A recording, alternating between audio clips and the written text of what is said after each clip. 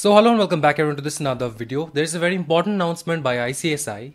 Uh, the examination enrollment status for each student should be checked by this link. Okay. So the link I'll be giving in the description below. What do you have to do is you have to go to this link then you have to put your registration number date of birth and captcha and then download the preliminary enrollment status for your examination where you'll be able to understand that where is your examination which state are you giving your examination whatever form fill up that you have done if it is done properly or not you have to check it over here. And for example you are finding that you were giving English medium, but by mistake it's showing Hindi medium or any kind of other grievances that you have, then you can press to this button okay support icsi.edu this will take you to the support section where you have to uh, you may uh, put your query as guest or registered. It's better to put registered user and put your id and everything login id and then you will be able to drop the complaint if you are having any kind of grievance. Understood?